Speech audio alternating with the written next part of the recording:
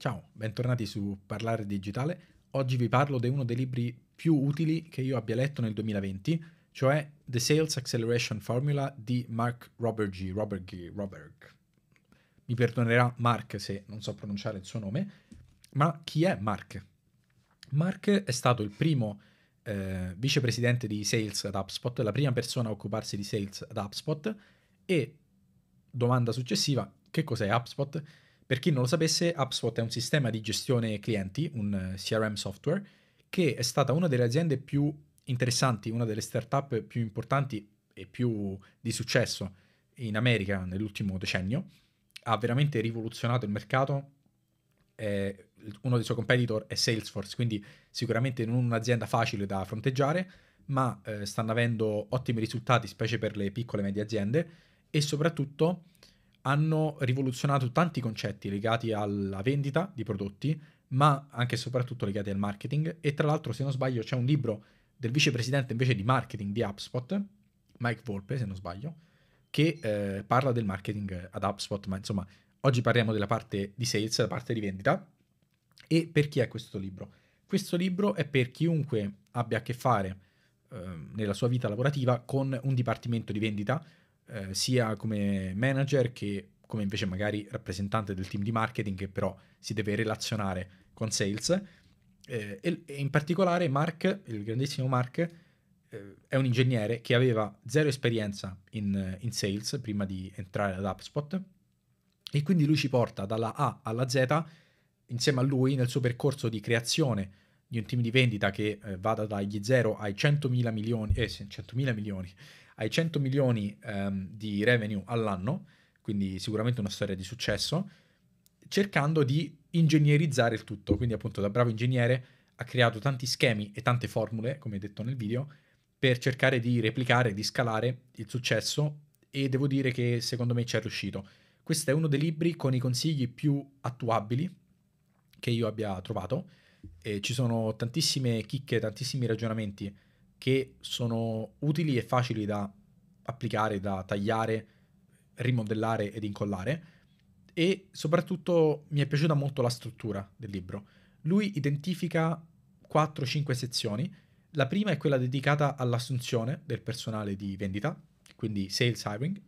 La seconda è quella dedicata al, alla formazione del personale di vendita. La terza è quella dedicata alla gestione. La quarta è quella dedicata alla eh, demand generation, quindi come creare richiesta per il prodotto, in cui si parla anche tanto di marketing, e la quinta è quella legata alla parte tecnologica, i sistemi da utilizzare. Lui per ognuna di queste parti ci dà delle formule che lui ha applicato, delle strategie, delle tattiche, dei consigli e ci racconta anche tante storie di quello che ha funzionato e quello che non ha funzionato ad HubSpot che oltre ad essere molto utili sono degli aneddoti molto simpatici, quindi ehm, insomma se siete un po' dei nerd come me a cui piacciono queste cose, fatevi controllare prima di tutto, secondo comprate il libro, terzo ne, ne gioverete tanto, insomma anche al di fuori del mondo lavorativo sarete interessati a, a quello che lui ha da raccontare perché HubSpot è sicuramente uno, uno case study molto interessante da, da tenere a mente e da osservare. Quindi eh, faccio qualche esempio più dettagliato su cosa potreste trovare in questo libro e poi vi ricordo che a me piace farvi un video introduttivo da cappello di un libro, ma poi fare dei video più specifici su ognuna delle parti magari principali del libro, proprio per darvi consigli ancora più attuabili e per ingolosirvi ancora di più a comprare il libro se non dovesse bastare questo video, anche se spero basti. Um, per esempio, lui nel, nella parte dedicata all'assunzione delle persone, ci dà un template utilissimo con quello che lui chiama scorecard. Scorecard è tipo un, una tabella, fondamentalmente, in cui noi possiamo facilmente andare a valutare l'abilità del, del candidato nel team di vendita che abbiamo davanti, secondo ovviamente la nostra percezione, e eh, lui appunto ci dà varie voci che utilizzava ad HubSpot, che sono intelligenza, adattabilità, eh, coachability, quindi quanto è facile insegnare a questa persona, eh, tanti altri aspetti, mm, sono una lista, una quindicina, 12-15, ci dice esattamente il perché lui ha messo ognuna di queste voci all'interno. Chiaramente se noi vendiamo un prodotto diverso da HubSpot, possiamo anche togliere o aggiungere altre voci, per esempio un'altra voce è conoscenza dell'industria, e poi eh, ci dice anche il peso che ognuna di queste voci ha per HubSpot quando eh, si sta valutando una persona. Quindi fondamentalmente tu hai una tabella con intelligenza, eh, abilità di imparare cose nuove, adattabilità, conoscenza del settore e poi hai dei valori da 1 a 10 che eh, dettano il peso che lui dà a ognuna di queste voci. 2, 3, 4, intelligenza vale 7, ehm, adattabilità vale 3, conoscenza dell'industria vale 2 e durante la chiamata con il candidato puoi riempire questa tabella con dei voti pensando ok, intelligenza vale 7, questo candidato secondo me ha un, un voto di intelligenza che da 1 a 10 è 4, mentre invece conoscenza del mercato da 1 a 10 è 8. E quindi poi fai la somma pesata in base ai valori di quanto vale per te eh, per ognuna di queste, di queste, voci e hai un modo oggettivo di, vali, eh, di valutare i candidati nel tuo processo di, di selezione. Questa può sembrare un po' una semplificazione del processo di assunzione ed in parte lo è. E, e, sicuramente è difficile valutare in maniera corretta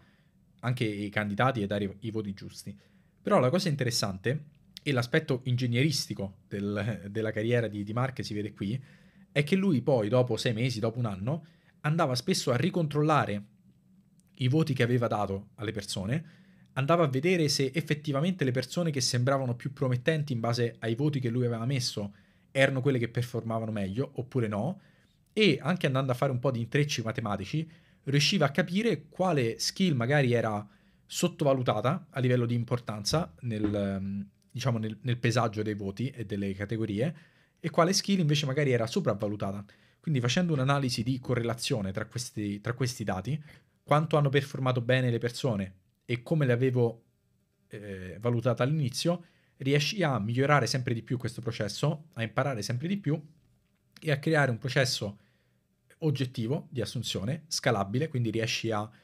anche a, a spiegare a, ai tuoi colleghi come seguire questo processo in maniera semplice e devo dire che è un sistema veramente veramente facile da copiare, incollare, adattare alla tua azienda e questo è uno dei valori più importanti di questo libro, secondo me. Questo tipo di approccio esiste in tutte le parti del libro, ce ne sono altri esempi anche all'interno della sezione dedicata all'assunzione stessa, chiaramente non ve li faccio tutti adesso ed ora. Eh, se volete saperne di più potete iscrivervi al canale perché sicuramente farò dei video più in dettaglio su questo tema, ma soprattutto potete trovare il libro in descrizione e comprarlo su Amazon con i soliti link di affiliazione.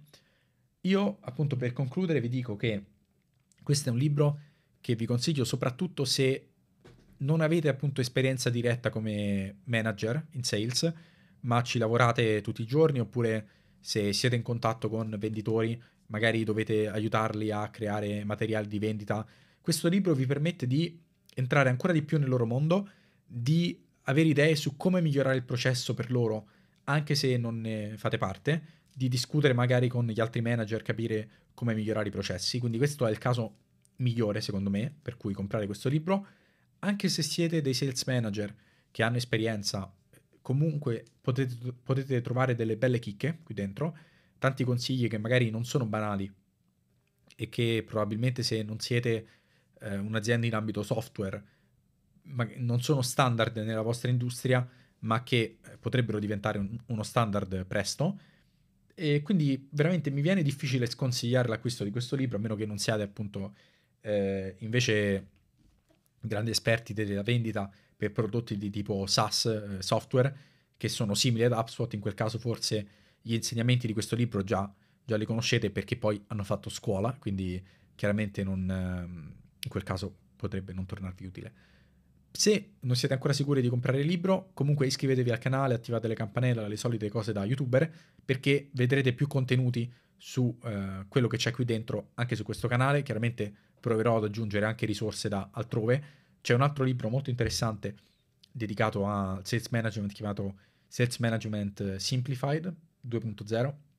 che è un altro libro che si colloca su un'onda simile, quindi eh, se sei un sales manager alla tua prima esperienza, lì hai tante informazioni, eh, tante, tanti playbook su cosa fare, quindi mischierò un po' di, di informazioni. So che questo canale è principalmente dedicato a marketing e imprenditoria, ma penso che sales, la parte di vendita, sia molto spesso sottovalutata in tante aziende, ma è un motore incredibile che ti permette di crescere se lo fai bene e per la giusta azienda veramente in maniera efficace. È un, un tipo di business un po' più rischioso perché richiede tanti capitali all'inizio, devi investire nelle persone di vendita e se assumi la persona sbagliata vai a pagare tanto questo errore. Non è la stessa cosa di spendere 100 euro, 200 euro, 300 euro su Facebook o insomma anche 1000, eh, sono costi molto più alti, però può dare grandi risultati e molto spesso, specie persone giovani, ne stanno lontani perché hanno questa concezione di sales come il venditore porta a porta che ti vende il folletto, il venditore che vende le poste, poste gialle, là, come si chiama, pagine gialle. Invece eh, c'è molto molto di più. Quindi vi consiglio di, di prendere questo libro anche se magari non, eh, non siete super interessati al tema perché potrebbe aprirvi un mondo.